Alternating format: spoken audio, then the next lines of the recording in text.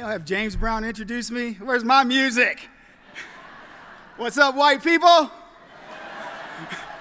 oh, and, and, and Derek, Derek, where are you? My name is Kevin Jackson. I'm executive director of the Black Sphere and also seeking educational excellence. And I was born to end identity politics. That is my mission today. So I'm happy to be amongst you, nationalists. And in my short amount of time today, I'm going to enlighten you and help you learn how to problem solve. And uh, it's getting a little bit more difficult to do here in Denver because of all the pot. I almost got a contact high walking over here from my hotel. And one of my buddies says, Colorado, Kevin, that's where the cows eat pot, thus making the stakes higher. anyway, let's talk leftism for a bit. I looked up the definition of leftism, and here's what it says in the dictionary. You can Google this if you want. Leftists are the people who care more about losing their cell phones than losing their kids. Now, I don't say that for the laughs or even to get a rise out of leftists. I say it because it's true. Did you see the story about a man who left his kid in a car in Arizona? This happened just the other day, and the kid died. So a leftist came up with a bright idea, this great idea of how to prevent that from ever happening again. And he says, hey, put something of value in the back seat so you don't forget the kid. Some of those are going to get that when they're on their way home. See, your kids are valuable. You don't have to put something in the back seat to think about your kids. But that is the forward progressive thinking of the left is that if you put your briefcase back there, maybe little Johnny will survive. Anyway, my lesson today, folks, is that all politics is identity politics in this country and around the world. So consider everything that I tell you today about leftists is tough love. And why can I dish out the tough love? It's because I am a free range Negro. Unrestrained in my pursuit of happiness, per the Declaration of Independence. By the way, as a little reminder for the uh, Conserv- Western Conservative Summit, it's not a good idea to put Oreos in my swag bag. I thought I'd have a Starbucks card as well. The opposite of a free range Negro, folks, is a plantation Negro. Free, feel free to call them plantation Americans because they love to hyphenate. So, with your kind indulgence, I will explain the life of a free range Negro. Now, you see, this morning I felt like having lox and bagels, yet I'm no more Jewish than Muhammad. Lox and bagels is a choice that a free range Negro can make. And in fact, later tonight, I was thinking of having kimchi without repercussion. A plantation Negro must check the manual to see if eating non black centric food is authorized. Now, the life of a free range Negro still has its challenges as the left hates the free range Negro. Because free range Negroes like me and Derek have a superpower. My superpower was forged from the DNA of slaves and Democrat oppressed blacks of the past. And in fact, I sent my DNA to Ancestry.com, and the report read back to me Damn it, man, you're 100% American.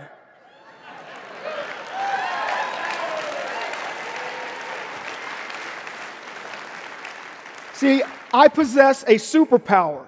It's called common sense. And that's where I'm going to help you white folks out because you are confused. Like the white person who got hired at the Black History Museum. Not quite sure if you should celebrate that just yet, you know, because of the daily reminders of how your ancestors oppressed my people.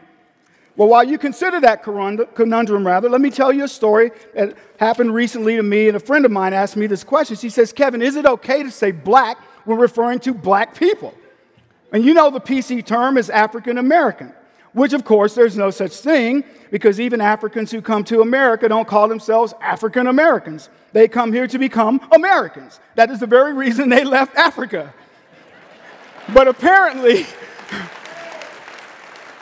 Apparently, leftist white folks have too much idle time and too much of your money, so they think of these crazy things and they think up the nonsense of why are we calling black people black? Isn't that offensive? These idiots call black people who have never been to Africa African Americans. They call black people who wouldn't move to Africa if you put a gun to their heads African Americans. that ranks up with calling weather global climate change or threatening to jail people for misgendering a transsexual. Screw that. If you dress like a woman and you look like a man, you're a dude to me.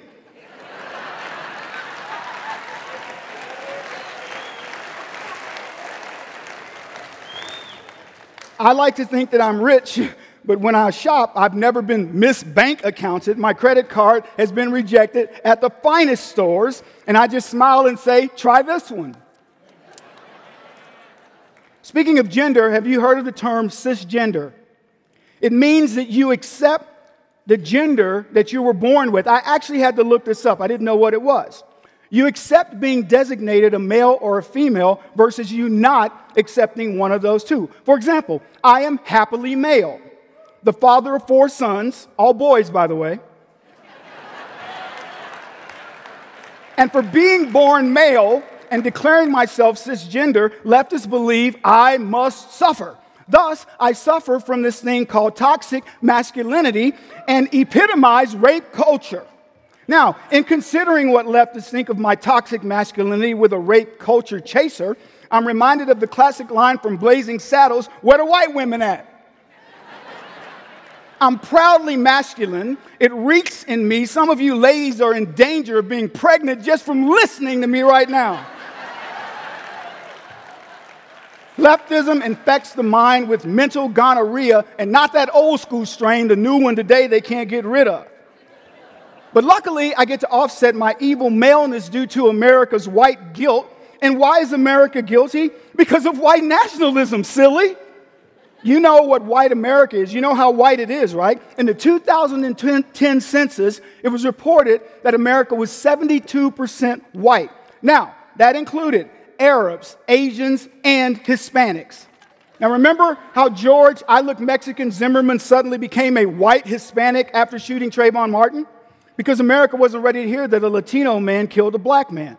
Leftists consistently question America's whiteness, but they never seem to question other countries' homogeneity. The most homogeneous countries in the world are African, Middle Eastern, South, and Central American. By the way, they're afraid of the browning. They say we're afraid of the browning of America, but nobody ever questions the whitening of Africa. We live in a world where we legislate based on the way people have sex the freakier your sexual habits, the more money the government gives you. If you are a transsexual pygmy iguana lover, there is a reparations package for you. Now, speaking of reparations, by the way, I'm going to get a couple more minutes on, out of this. the best reparation you can have for any leftist ailment is to be born American. You know the America that gave us the first recognizable half black president, the America that indulges multimillionaire black idiots who protest the flag, the anthem, and hate the very country that made them rich beyond belief. Black ancestors built a country they could never imagine for themselves, and today, black leftists squander it. But leftists no longer limited in indulging the ignorance of blacks. Now they go after all people, particularly the youngsters. Instead of protecting our kids from everything, we're supposed to be preparing them for everything. But sadly, today, far too many people believe that they can prepare their children for the, for the real world by protecting them. So, how about the millennials and these Z, Generation Z kids? They did a study back in the 1960s and compared those kids to today. And today's Generation Zs are emotional wrecks, they're basket cases, they can't handle the real world. College is little more than a Montessori, and it doesn't prepare these kids for the real world. They leave college with an emotional IQ of a four year old. So we fight for the soul of this country, folks, as we lose it every day in academia. You can count the number of conservative colleges in this country on your hands and feet. Feet. Sorry, Miss Pickens.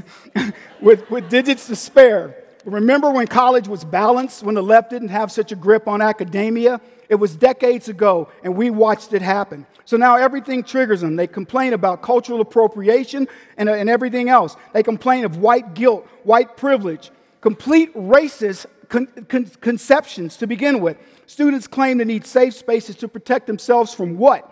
And cry closets. From what? They need laugh closets so we don't have to look at them laugh in our faces. They talk of society's injustices as they themselves are the reason for almost every injustice to man. Look, I make no statement about who to support in 2020. I happen to support President Trump. I figure you know that.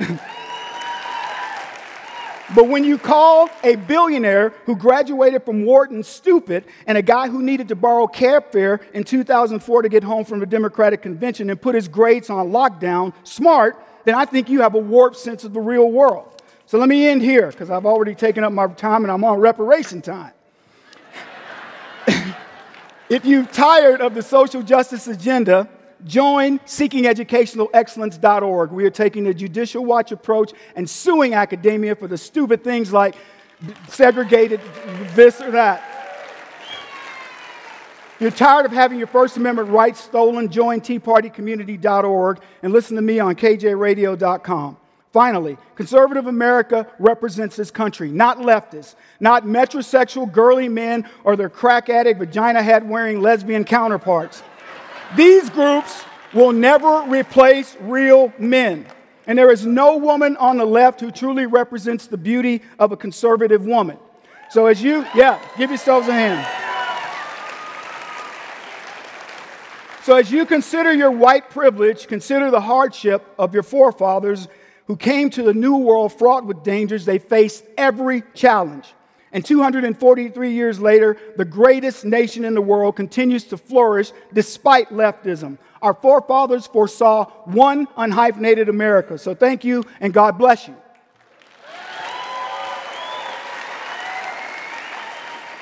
Quick point. Quick point. They're going to show a trailer to a movie that we did to, to celebrate police officers in America called Bleeding Blue. And our next movie will be coming out next year. It's called MAGA the Movie. And the catchphrase is this movie's going to be huge and Mexico's going to pay for it.